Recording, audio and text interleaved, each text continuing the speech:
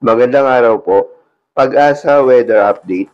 Alamin ang lagay ng panahon ngayong araw, July 25, 2023. At latest update sa bagyong Egay na posible na maging super typhoon sa mga susunod na oras.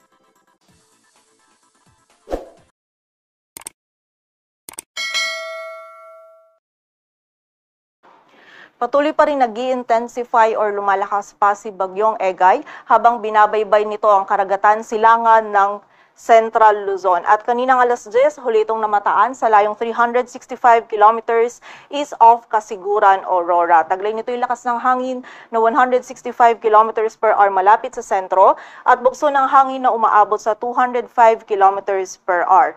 Ito ay kumikilos pahilaga, hilagang kanluran sa bilis na 15 kilometers per hour at ngayong gabi hanggang bukas ay nagsisimula na nga po itong magdulot pa ng mga malalakas na pagulan, lalong-lalo na dito sa may silangang bahagi bahagi ng Luzon. So pag-iingat po at paghahanda para sa ating mga kababayan sa posibilidad ng mga pagbaha at pagguho ng lupa. Samantala, ang southwest monsoon o habagat naman na pinapa-enhance or patuloy na pinapa-enhance ito ni Bagyong Egay, ang siyang magdudulot naman ng mga pag-ulan dito sa may kanlurang bahagi ng southern Luzon at Visayas.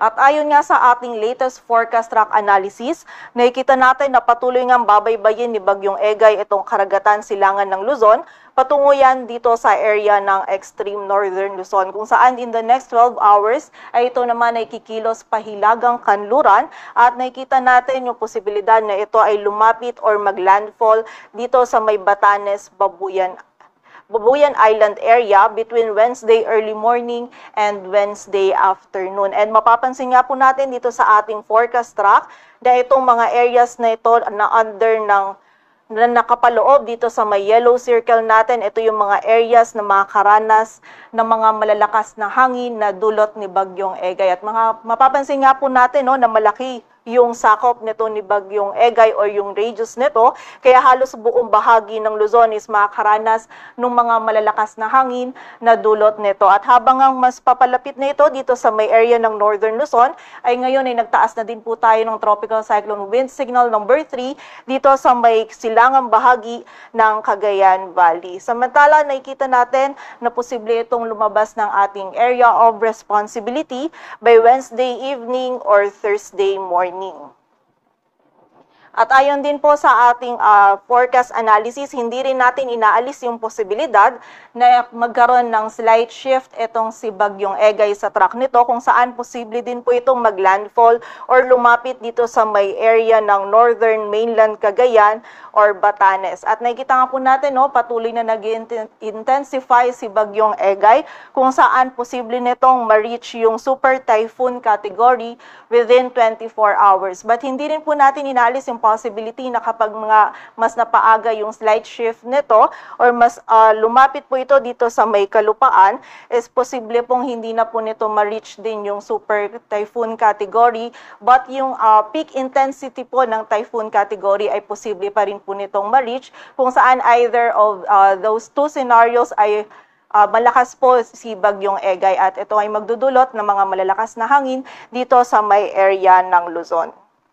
At sa kasalukuyan nga po, meron tayo nakataas na tropical cyclone wind signal number 3 dito sa may eastern portion ng mainland Cagayan, maging sa northeastern portion ng Isabela, kung saan magdudulot po ito or maaari ito magdulot ng mga moderate to significant uh, damages, lalong-lalo na yan sa mga structures na gawa sa light materials.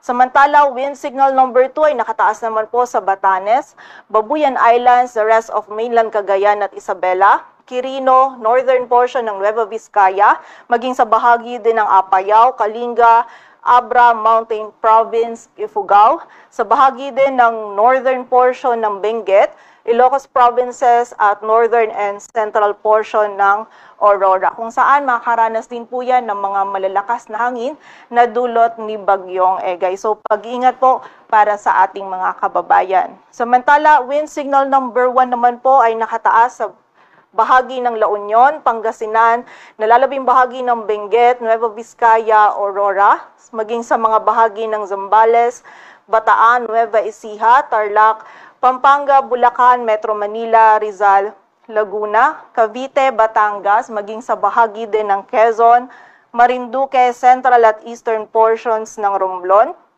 Camarines Norte, Camarines Sur, Catanduanes, Albay, Sorsogon, Masbate, maging sa bahagi din po ng Visayas, meron pa rin tayo nakataas na tropical cyclone wind signal number 1.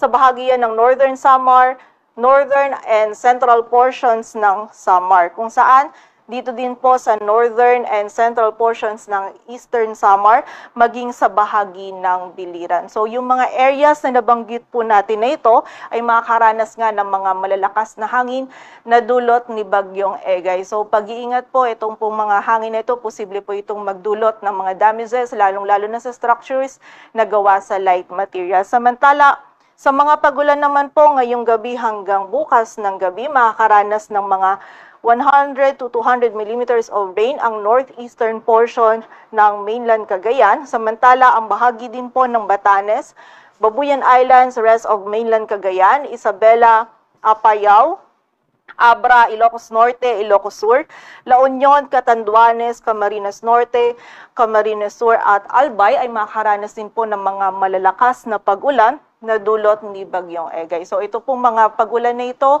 ay mataas po yung tsansa na magdulot ito or ng mga pagbaha at pagguho ng lupa. So pag-iingat po para sa ating mga kababayan at makipag-unayan po tayo sa ating mga LGU or sa mga ating uh, ah, DRMM offices para po sa mga aksyon na maaari nating gawin para sa ating kaligtasan. Samantala, sa mga susunod na araw naman po, bukas yan ng gabi hanggang sa Wednesday ng gabi is mas malaking area po yung makakaranas ng mga pag-ulan, mas lalong-lalo na po yan sa bahagi ng Luzon. Partikular na yan dito sa May Batanes, Babuyan Island sa northeastern portion ng mainland Cagayan, Ilocos Provinces, Apayao at Abra. So may kita po natin uh, sa buong bahagi po ng Northern Luzon ay makakaranas pa rin po tayo or patuloy tayong makakaranas ng mga pag-ulan na dulot ni Bagyong Egay. And from Wednesday evening naman po to Thursday evening habang uh, ito naman si Bagyong Egay ay medyo papalayo na dito sa may area ng extreme northern Luzon ay makakaranas pa rin po ng mga malalakas na pagulan ang bahagi ng Batanes.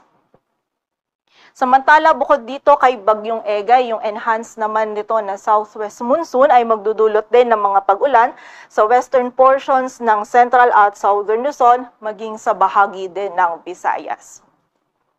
So muli po yung mga areas na nabanggit natin, yung malaking bahagi ng Luzon, pag-iingat po para sa ating mga kababayan dyan at paghahanda sa posibilidad ng mga pagbaha at pagguho ng lupa. At para naman po sa mga malalakas na hangin na dulot nga ni Bagyong Egay, yung mga areas po natin kanina na binanggit natin under wind signals ay mag-iingat po tayo dahil makakaranas din po tayo ng mga malalakas na hangin na may-ari magdulot ng damages. And also, bukod nga po dito kay Bagyong Ega, yung enhanced southwest monsoon din natin, magdudulot naman po yan ng mga bugso ng mga malalakas na hangin. Ngayong gabi hanggang bukas sa bahagi ng Luzon, Visayas, maging sa ilang bahagi din po ng Mindanao, Diyan yan sa Zamboanga Peninsula, Basilan, Sulu, Tawi-Tawi, uh, sa northern portions ng Northern Mindanao at Caraga. Samantala, by Wednesday, ang bahagi pa din ng Luzon, Visayas at Zamboanga Peninsula ay makakaranas pa rin po ng bugso ng mga malalakas na hangin na dulot naman ng southwest monsoon. And by Thursday, meron pa rin po tayong mararanasan na uh, southwest monsoon or patuloy pa rin i-enhance ni Bagyong Egay ang southwest monsoon kung saan meron pa rin tayong mararanasan ng mga bugso ng mga malalakas na hangin dito sa area ng Luzon at Western Visayas. And also, meron din po tayong high risk ng storm surge dito sa mga areas ng Batanes, Cagayan, Isabela, Ilocos Norte, sa extreme northern portion ng Ilocos Sur, kung saan pag-iingat po sa ating mga kababayan dyan at makipag-ugnayan po tayo sa ating mga LGU para po sa aksyon na dapat nating gawin para sa ating kaligtasan.